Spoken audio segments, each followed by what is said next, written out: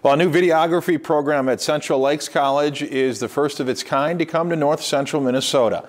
And only in its second semester, it's already capturing attention on and off camera. For this week's In Focus, Jamil Donath shows us how students are getting a hands-on degree in videography.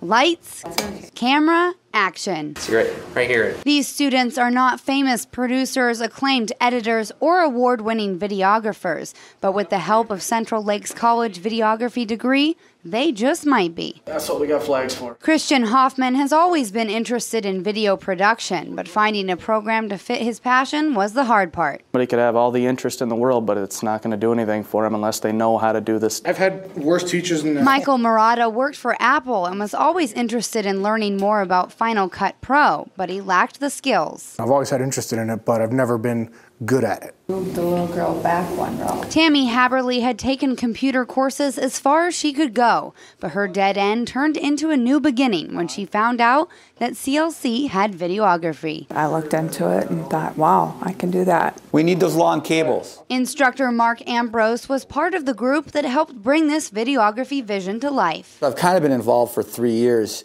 helping them decide what classes, what kind of equipment to get. Ambrose worked as a news photographer at WDIO in Duluth, then KARE 11 for 11 years before moving to Brainerd to work for an outdoor television production company. They're lit well right here. This 60 credit program isn't just about learning videography skills from a book or a lecture, it focuses on what these students can learn from doing it themselves. These students have learned more in the little bit of time that they've had to take a camera out and figure out how to make something happen than five hours of me talking in that classroom over there. The project that the class is working on now is they're setting a scene to film a short film.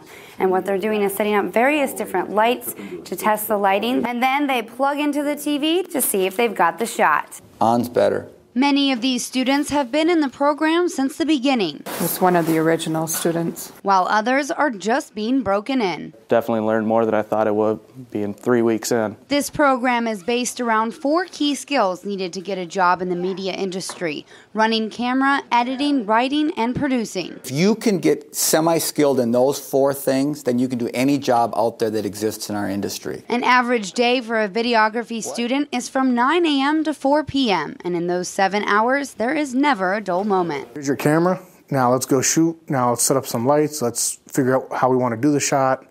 Let's work on Final Cut Pro. So every day is an eventful day. So when these students have finished their two years, Hoffman, Murata, Haberly, and the rest of the class crew may not get a job in Hollywood or an offer at ESPN right out of school, but they will have the skills to get there on their own. For this week's In Focus, Jamil Doneth, Lakeland News.